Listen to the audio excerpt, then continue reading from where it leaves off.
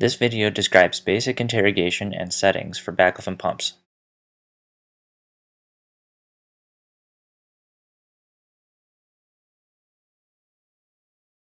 Turn the programmer on by sliding the power button on the left side. Press the telemetry icon, which is the second button, then press Synchromed 2. Press the interrogate button.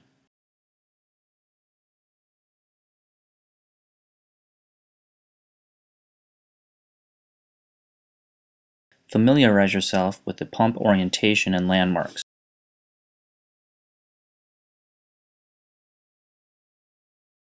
Palpate for the pump's location, then place the programming head directly over the pump.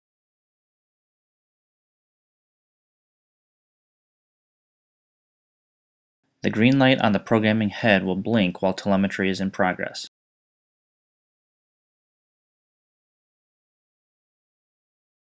The pump status window will open first.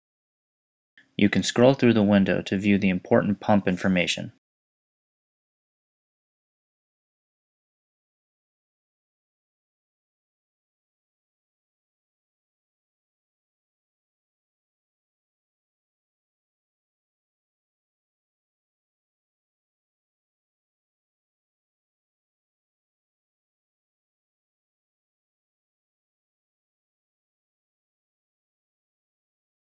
Minimize the pump status window by pressing the X in the upper right corner.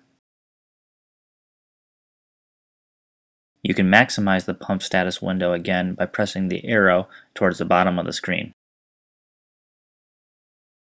To change drug concentration or volume, push the RX tab at the top. If you're refilling the pump, change the reservoir volume to reflect the new volume that was instilled.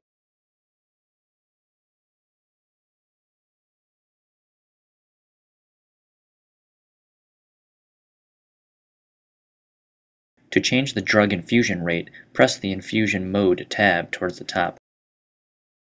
Simple Continuous Mode infuses the drug at a constant rate throughout the day.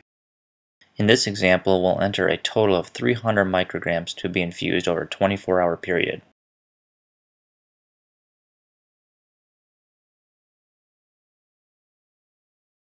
Flex mode allows you to set a constant basal rate and add boluses at specified times each day.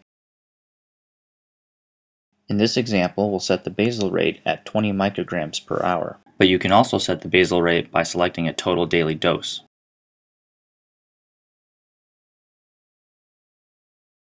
Next, we'll add a bolus at 12 o'clock noon of 30 micrograms to be infused over 15 minutes.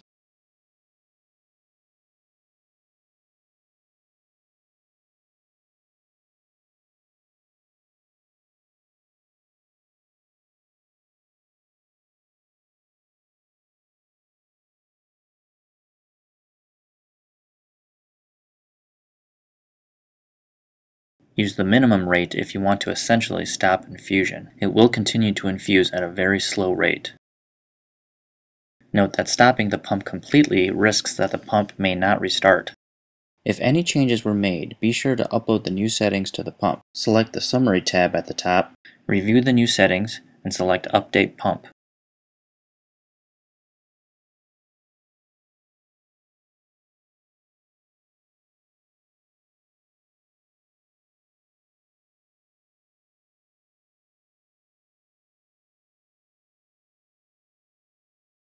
Print the new pump settings out anytime changes are made. Open the slider bar in the top left corner and select the printer icon. Add the short report to the printer queue twice.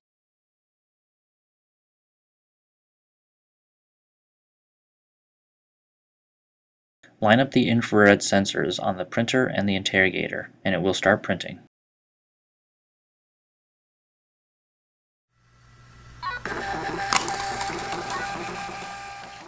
Use the Alarms tab to show the volume at which the low reservoir alarm goes off and alarm intervals.